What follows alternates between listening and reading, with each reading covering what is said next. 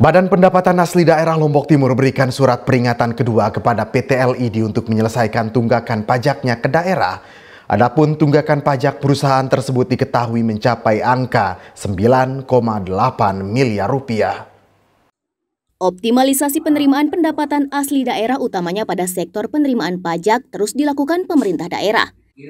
Seperti pada Kamis 16 November, Kepala Badan Pendapatan Asli Daerah Lombok Timur Muksin bersama tim optimalisasi PAD Lombok Timur melaksanakan kunjungan ke PT LED di Desa Padak Guar, Kecamatan Sambelia, guna menagih tunggakan pajak perusahaan yang belum tuntas. Muksin mengutarakan jika kunjungan hari ini guna meminta komitmen pihak perusahaan menyelesaikan tunggakan pajaknya sebesar 9,8 miliar rupiah dapat segera tuntas. Tunggakan ini sendiri diketahui merupakan tunggakan pajak bumi bangunan yang belum dibayarkan sejak tahun 2019 hingga 2023. Muksin juga menambahkan, dalam pertemuan ini, pihak PT LED akan menjalin komunikasi bersama jajaran yang lebih tinggi sebelum mengambil sikap pelunasan pajak PBB ke daerah. Ketegasan pihak perusahaan untuk dapat membayar kewajibannya sangat penting, sehingga jika tidak ada pajak yang disetorkan perusahaan ke daerah, maka pemerintah daerah juga akan mengambil sikap.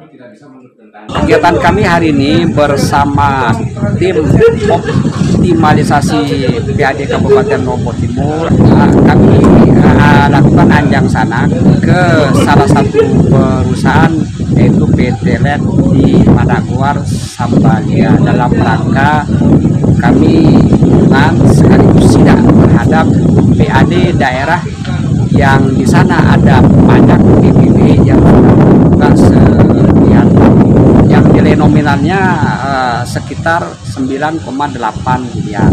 Nah, inilah yang kami lakukan negosiasi, lakukan terhadap uh, upaya-upaya meyakinkan perusahaan kita di PT Lihat ini seperti apa kewajiban pajak yang sekarang sudah posisi tonggakannya sekitar 9,8 miliar diberikan.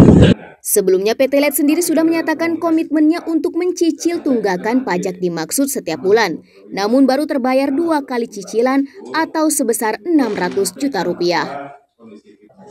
Ahmad Zulkarnain, Lalu Halili, Selaparang TV, melaporkan.